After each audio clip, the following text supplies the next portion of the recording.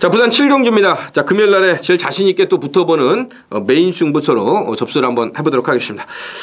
자, 1600m 레이스 총 8두가 단촐한 편성을 지금 맞이를 해서 뛰는데 그렇다고 해서 쉽게 저배당으로 끝나는 거 아니죠?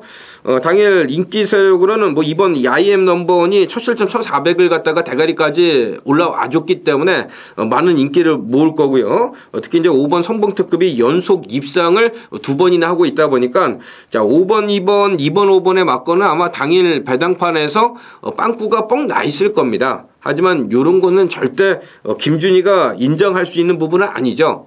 이 불안요인이 있기 때문입니다.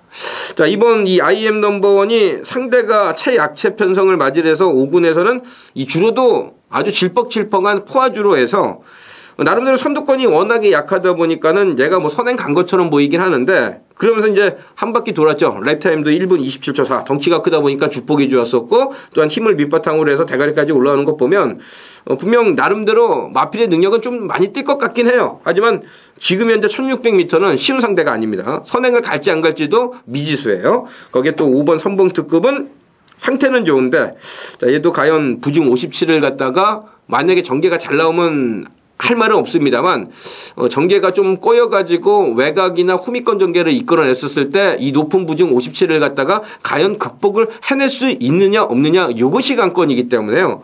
2번, 5번에 대한 막건은 절대 우리가 100원짜리나 투자를 안 했습니다.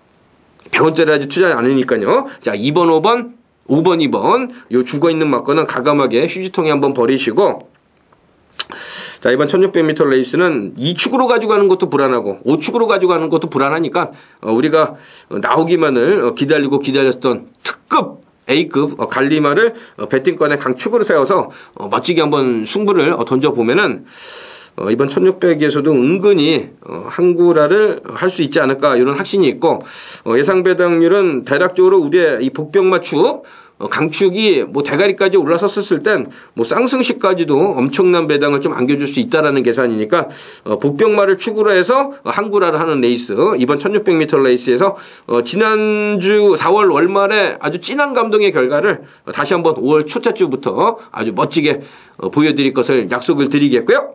또한 금요일날에 만족중 또한 아주 팬들 여러분들이 만족하는 한수 보답을 드릴 것을 약속을 드리면서 음, 금요일 자 기대해 주셔도 좋을 것 같습니다. 파이팅입니다.